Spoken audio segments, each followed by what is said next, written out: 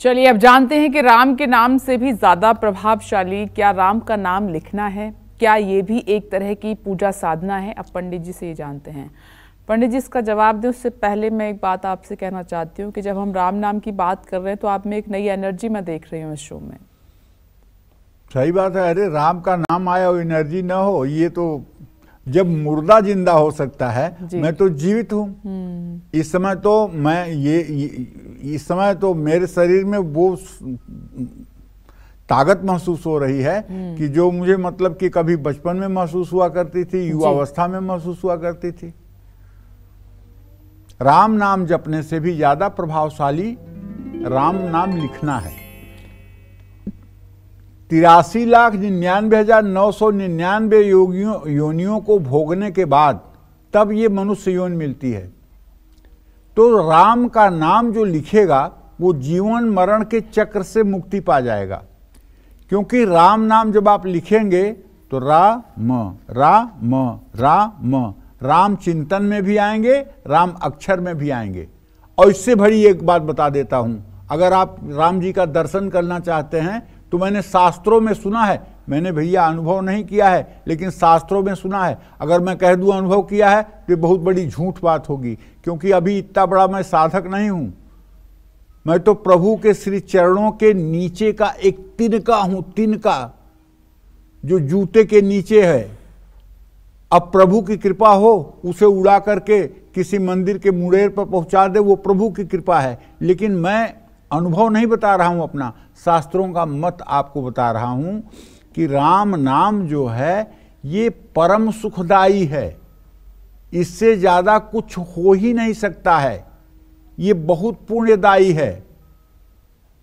आप अगर नित्य राम राम राम राम राम राम कहते हैं, लिखते हैं, बोलते हैं, सुनते हैं तो उससे भी ज़्यादा अगर आपको आनंद लेना है तो आप राम बोलिए और आकाश में अपनी आँखों से लिखिए राम, और उसको देखिए। आकाश में अपनी आँखों से लिखिए राम और उसको देखिए, फिर लिखिए राम, फिर उसको देखिए।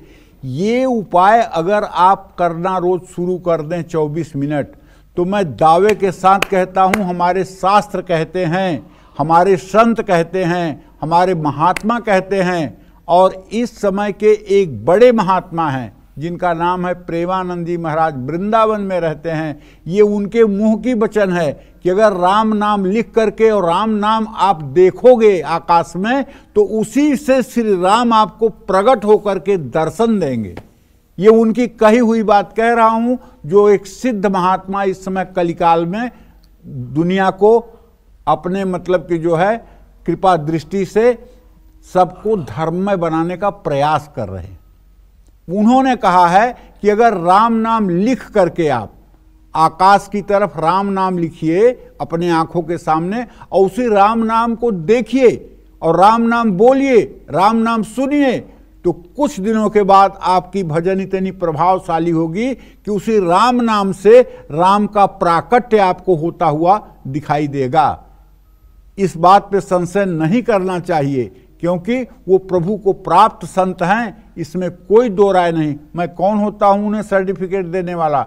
लेकिन उनकी बातों से, उनके सत्संग से, उनके उत्तर देने के तरीके से, उनके स्वा, शास्त्र स्वाध्याय से, उनके विद्वता से ये लगता है कि ये प्रभु को प्राप्त व्यक्ति हैं, इसलिए इनकी बात को मान लेने में कोई बुराई नहीं है। राम राम राम नाम लिखना भी खुद में, अपने आप में बहुत बड़ी बात है। हर दिन राम नाम ज़रूर लिखें। सुबह शुद्ध होकर सच्चे मन से, साफ़ कागज़ पर, लाल कलम से राम नाम लिखना चाहिए। अब तो राम नाम लिखने वाली किताबें मिल रही हैं। लोग मुफ़्त में किताबें बांट रहे हैं। उसमें छोटे छोटे खाने बने होते हैं, उसमें राम लिखा जाता है। लगातार अगर 90 दिनों तक राम नाम लिखने से इसका शुभ फल आपको प्राप्त हो जाएगा। मन में सकारात्मक ऊर्जा की वृद्धि हो जाएगी, आत्मबल बढ़ेगा लंबे समय तक राम नाम लिखने से हर मनोकामना पूरी होगी। और आपको एक चीज़ बता दूँ, आपने बहुत बैंक देखा होगा, State Bank, Union Bank, Canara Bank, ये बैंक, वो बैंक। आपने राम जी का बैंक देखा है? नहीं ना? मैं बता रहा हूँ, राम जी का बैंक है राम रमापति बैंक। ये काशी में है, ज्ञानवापी में, जहाँ आप राम राम लिख करके और वो अपनी किताबें ले जा करके वहाँ जमा कर दीजिए। वहाँ आपकी जितने राम नाम आपने लिखे हैं, उतने की आपको रसीद मिल जाएगी कि आपने इतना राम नाम का बैंक बैलेंस अपने करवाया है। जितना राम नाम आप लिख करके ले जाइए राम रमापति बैंक में, वहाँ जमा हो जाएगा और वो आपका अविनाशी बैंक में जमा माना जाएगा। तो आपको मैं बता रहा हूँ, राम रमापति बैंक भी है, काशी में है, ज्ञानवापी में है। वहाँ आप राम रमापति बैंक में जो राम नाम की किताब आप लिखते हैं, उसको ले जाकर जमा करवा सकते हैं। और उस राम रमापति बैंक में एक भी चूहा और दीमक जाकर के उस राम नाम को नहीं काटता है, ये भी आश्चर्य की बात है। भगवान गणेश ने नारद मुनि के सुझाव पर, पृथ्वी पर राम का नाम लिखकर उसकी सिर्फ़ तीन बार परिक्रमा की थी और विजय प्राप्त की थी और सारे संसार और देवताओं से पहले पूजा का स्थान प्राप्त किया था। राम नाम लिखते समय मौन रहना चाहिए। राम नाम लिखने के लिए बिना लाइन वाला कागज़ प्रयोग करें। कम से कम एक पेज राम नाम ज़रूर लिखना चाहिए।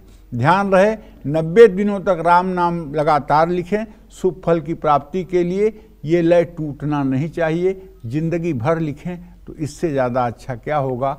जय माँ बिंदवासनी